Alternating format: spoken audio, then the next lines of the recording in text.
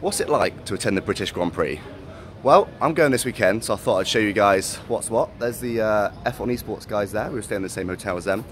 Me and Ben, Ben Daly here. Hey, subscribe to Team at Great. I think you need to do that for me, not the other way around, to be honest. I need the shout outs. Oh yeah, yeah, really need the subs. um, yeah, we're, we're going to head to the track today, just going to have a wander around, see what we see. And uh, yeah, I'm going to try and vlog, vlog the experience and what it's like. So uh, heading to the beast there, red car over there. And I'll try not to get run over, but uh, yeah, let's do this.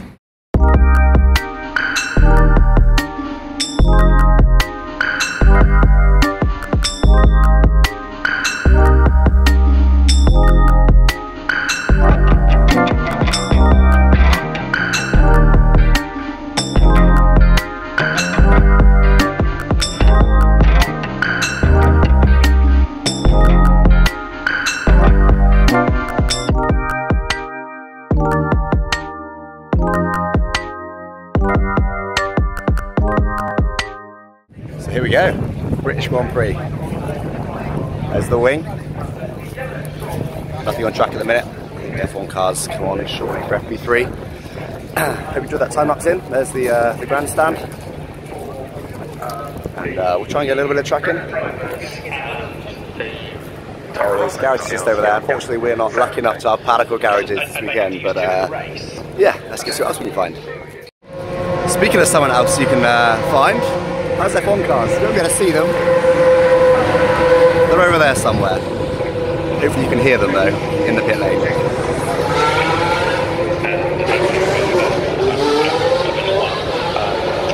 So that's something you can find at the British Grand Prix, F1 cars.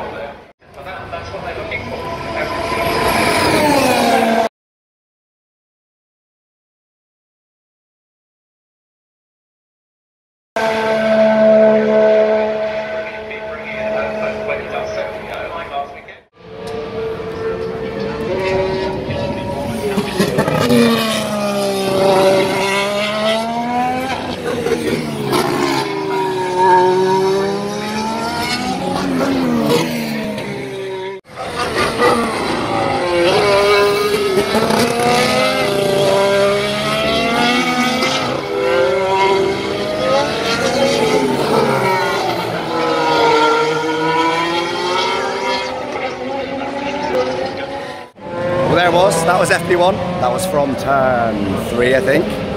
And uh, pretty interesting viewpoint up there. It's quite high up, so it's good. The car's going quite slowly, but it's good to see them for a bit longer than just flying past like from turn one.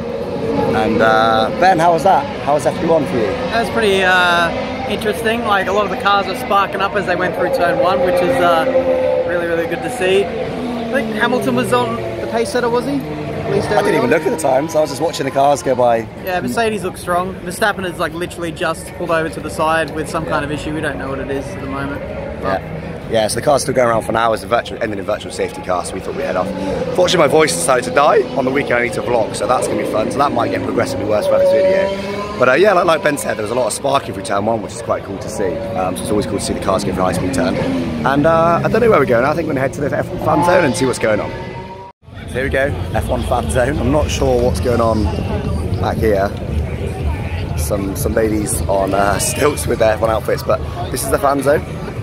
So it's just kind of entertainment, really. Uh, bars, food places. Uh, a Mercedes stand over there. This is kind of where all the all the sort of manufacturing stuff have stands. Um, not too sure what else we got at the minute. There's some nice toilets over there. Lovely.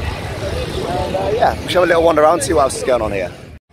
So this is the F1 fan zone then, so down there, right at the end here, we've got the uh, pit stop challenge, which is basically you have to compete with people and, and change the tyre, obviously undo it, take it off, put the new one, redo it back up, like in uh, like real F1. Here you got the esports, which used to be the game zone. Basically, you have uh, a load of rigs and everyone races against each other. It's, uh, it's quite a lot better than game zone. The game zone used to be enclosed. It's quite nice. This is now open with the advent, of course, of F1 esports. Uh, here you got driver fitness, which I think is just uh, it's basically just like a museum type thing. I think of like information of driver fitness. reaction challenge just there, which is uh, just sort of pads you have to press like real F1 drivers do for re- reaction test, press different pads. At the bottom there, we've got TV challenge, uh, which is basically a challenge to, to host a TV show like like Sky Sports. Here, which is quite cool, we've got the Renault. Um, the Renault try get the front here. You've got a sort of I think it's a 20 something concept car. That's pretty cool. So there's like uh, an old F1 car, I'm see it right there. We go.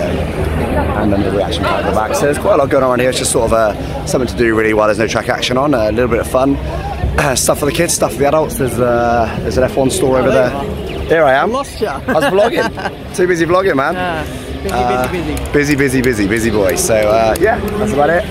like I say, various stalls and uh, program stall, very exciting stuff. And uh, yeah, I think that's about it for this one. Middle of the stage area. Hope you can hear me over the commentary. Stage over there. And uh, apparently showing the England match, the England quarter-final World Cup match, which you'll already know the result of uh, tomorrow. So hopefully this page will be full with people, and the atmosphere should be unreal. But uh, yeah, that's the stage.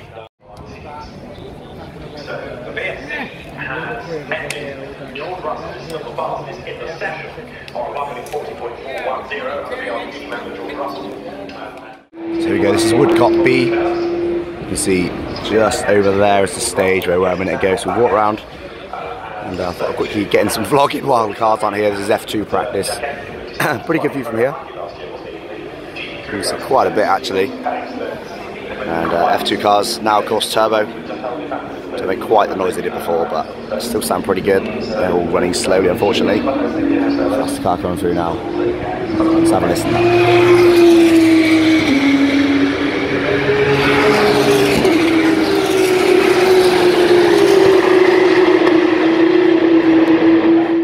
So I may or may not have forgot to vlog after that last uh, little few clips, but uh, yeah, that's, that was F2 practice uh, from uh, from Woodcote as I mentioned. So uh, yeah, it's pretty good view up there actually. You can see quite a lot of the track. It's pretty cool. Just step over a barrel out without falling over. And uh, went back to the fan zone, had, had a little look around, and uh, you can see the Mercedes. Uh, what's the Mercedes car called again? AMG Project One. Project One. That's it. Yeah, yeah. yeah. Uh, yeah, that's a pretty cool car. And uh, just heading over now to see a couple of guys we know. Um, here want to get more track action. So uh, yeah.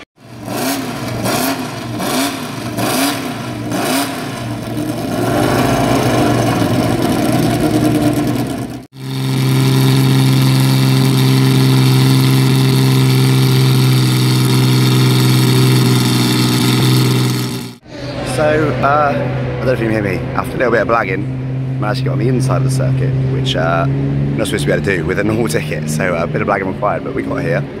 I think you need some sort of special pass to get here, but um, we're here anyway. So we're now in the uh, support, support paddock.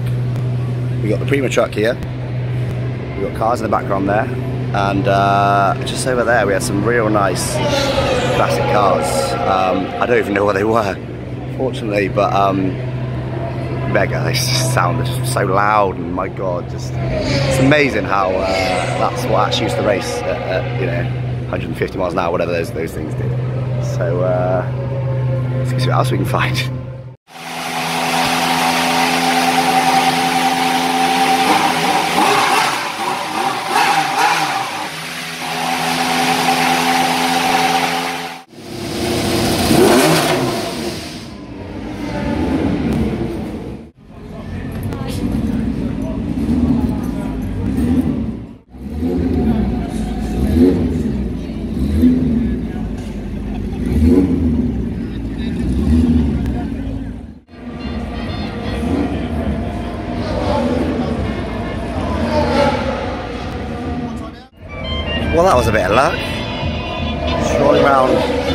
track where I shouldn't be, going to the sport paddock where I probably shouldn't be, then finding some modern era F1 cars some classic F1 cars, half of which are firing up. Wow, okay, well that's, uh, that's not normally how you experience Silverstone, but that's appeared to be how I've done it today. Um, just in this area as well, we've got a nice big screen just there, so it's going to watch the end of FP2 here and uh, yeah, then we'll go watch those uh, amazing classic cars go out on track.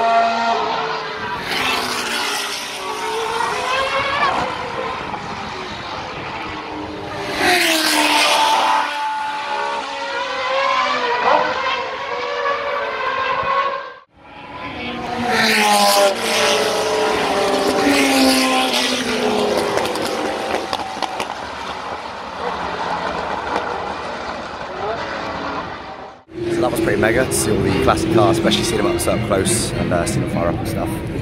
Just uh, still in the sport paddock here. Um, Herbert just whizzed off on a scooter over there. You can see him there in the background on a scooter. There he goes. Uh, he's spent quite a bit of time taking pictures of people, which is quite cool. um, good five minutes or so. There's a few guys still around. There's Esteban Gutierrez, um, Adrian Newey's over there, Damon Hill. There's a few names. Speaking of Esteban, how weird is that? right there. Um, but uh, yeah, I think that pretty much wraps up day one for me. I'm gonna go and hook up again with Ben Ben Daly now. I think my voice is definitely getting worse. You'll notice it more over the course of the video. But uh, yeah, I think that wraps up day one. Um, more the same tomorrow. So, day two then. You see, I've done the WTF1 hat. That's because uh, I'm with my friend Matt, who's just over there filming. Um, and yeah, we're just uh, just around the Silverstone Woodlands uh, campsite at the minute. Just to film a few bits. It's actually quite a cool campsite. There's quite a lot. Apparently, there's about 17,000 people that booked to stay here, so really busy. Probably noticed my voice is not holding up well, and this is only the second day. So tomorrow, I probably won't be able to talk, so that'll be fun. But uh, yeah, so just hang around with these guys for now. We'll be heading to the track soon.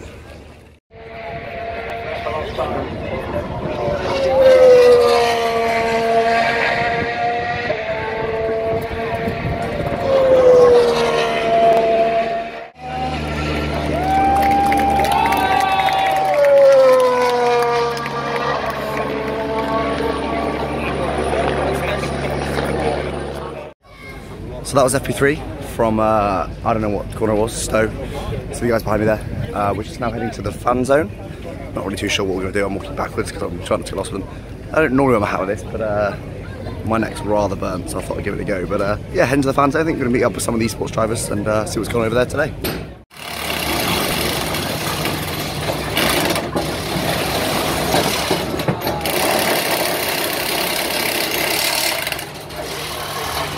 You're riding with him as he goes up towards Abbey Jackson. got the DRS now in between these two. So through the kick, they've got the DRS over them, which is just amazing in itself. They have so much downforce, they don't even need the wing for that. Uh, that, that, yeah, that's the Hamilton, the cat, Chris running front of This is all looking good. Takes the same line as he did on his very quick lap in the and through the loop and eight trading now gets into Robert. Reaches 330 scoring points for Brooklyn, and he's gone quicker than anybody thus. Six, Lewis Hamilton there, and Stan Reigns to pole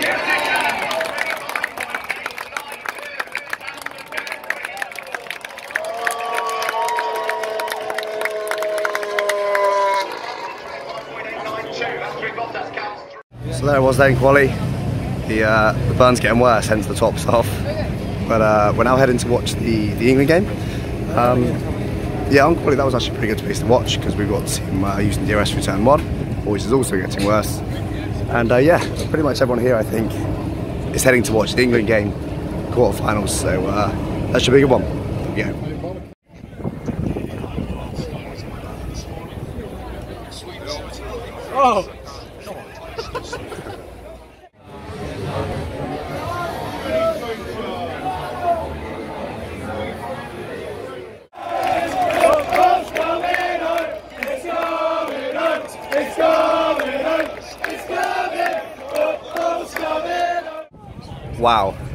Okay. British Grand Prix.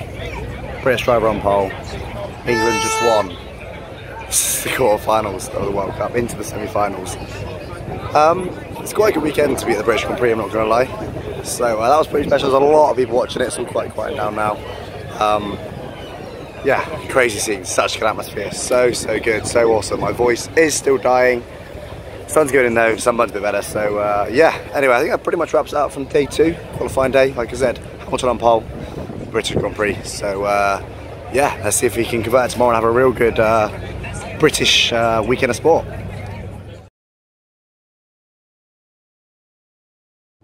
Here we go for day three then. Voice is not any better, I don't think it's too much worse, thankfully. Sunburn is not great, um, hence the cap, and uh, I've even got an extra t-shirt today uh, to try and cover some of that. Up. But uh, we'll get through this this uh, this British heat wave we're having. It's uh, not what Brits are used to. But uh, anyway, we're just at, uh, at Silverstone uh, Woodlands uh, campsite at the minute. Um, could be heading to track shortly. I'm just these guys again in the background. They're uh, filming a series called uh, Grill the Grandstand, which I was part of a minute ago. Basically, just ask 15 questions of random F1 fans to see how they do. Um, so yeah, that'll be out in a couple of weeks, I think. So I will be part of that. And uh, yeah, I think that's about it for now. Like I said, heading to track soon. You probably hear in the background. So I think it's F2 races going on at the minute, and uh, we'll be heading to track shortly to uh, to watch F1. Um, so we have to just be right on our toes and be 100% perfect today. Not buoyed by that win last night. Did you catch any of the goals? Of course.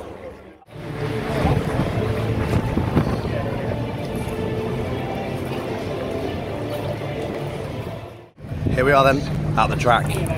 Race day, British Grand Prix, Sunday. There's uh, quite a buzz about the place now. So busy, of course, trackside. General Mission area gets so busy so early. And there's the start finish straight at the wing here. Can't a great deal.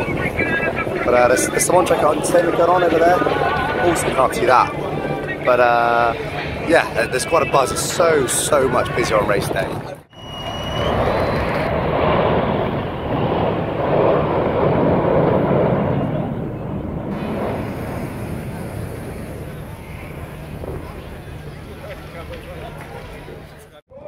This view for the race. This is the DRS end of the DRS end just here, so hopefully we'll see some side-by-side action through here. See quite a bit of track, not much of the sky where the red arrows are getting happening right now, but quite a lot of track here.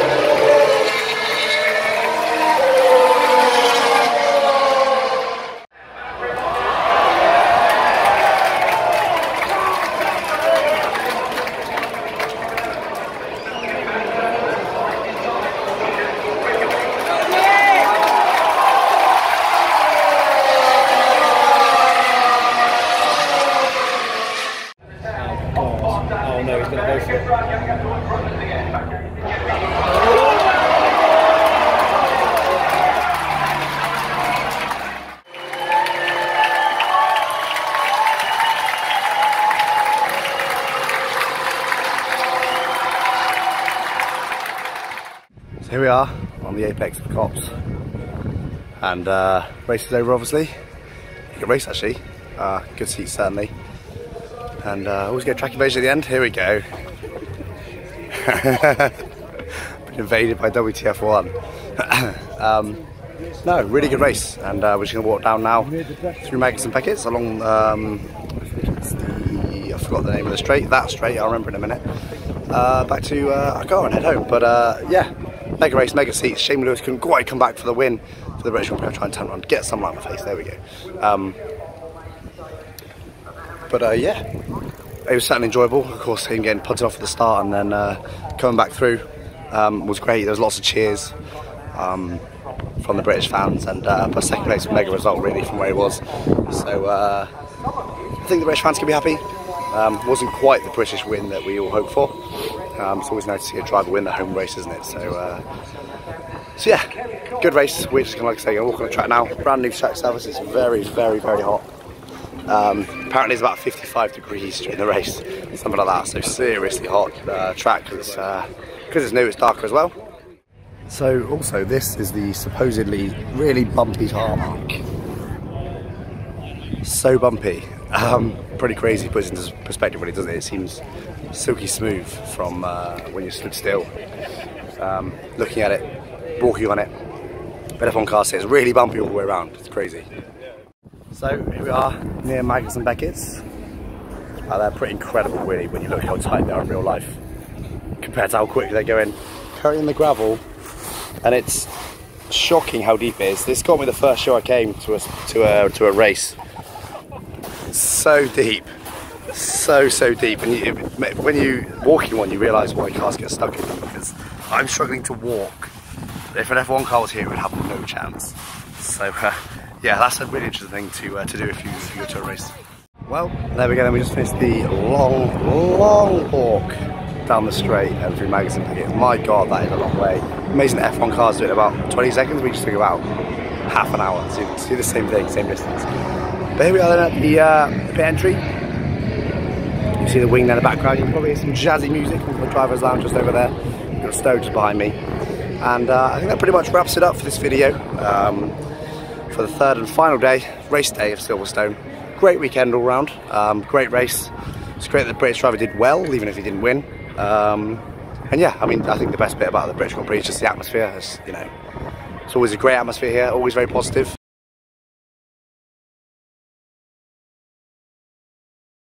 But uh, yeah, really good weekend. I really enjoyed it. Hope you guys enjoyed the video too, and I thank you for watching. Bye bye.